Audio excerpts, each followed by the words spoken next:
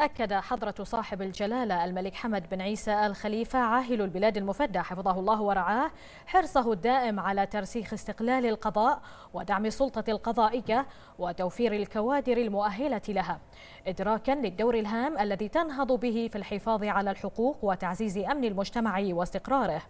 مؤكدا بأن القضاء البحريني المستقل هو صرح من صروح العدل وحماية حقوق الإنسان في المملكة ويجب احترامه والوثوق بنزاهته ودوره في تحقيق مبدأ العدالة للجميع.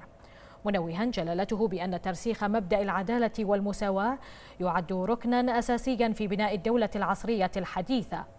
جاء ذلك خلال استقبال جلالة الملك المفدى في قصر الصافرية هذا اليوم مع المستشار سالم بن محمد الكواري رئيس المجلس الأعلى للقضاء بالنيابة رئيس محكمة التمييز وأعضاء المجلس وذلك للسلام على جلالته بمناسبة صدور الأمر الملكي السامي بتشكيل المجلس.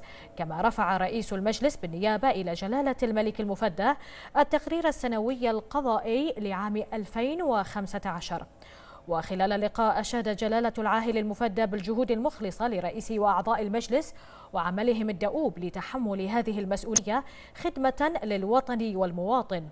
مثنيا على ما تضمنه التقرير السنوي من إنجازات وبيانات وخطط مستقبلية بهدف تطوير المنظومة القضائية وتحسين كفاءة العمل القضائي لكل ما من شأنه ترسيخ مبادئ الحق والعدالة وسيادة القانون.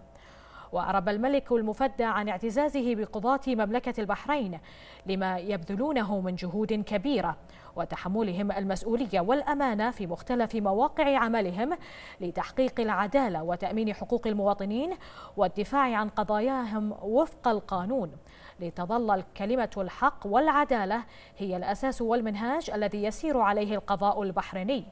منوها جلالته بالتنظيم والتطوير المستمر الذي يشهده القضاء البحريني في بنيته وتشريعاته بكافة قضاته. خاصة وأن مملكة البحرين تمتلك تاريخا عريقا في مجال القضاء. وخلال المقابلة أكد صاحب الجلالة حفظه الله بأن مملكة البحرين ستظل بلدا لجميع من يعيش على أرضها ويعمل لخيرها وصلاحها دون أي تفرقة أو تمييز. سائلا جلالته الله عز وجل أن يحفظ مملكتنا البحرين ويديم عليها أمنها ورخاءها ويوفقنا جميعا للعمل لكل ما فيه خير ومصلحة شعبها العزيز.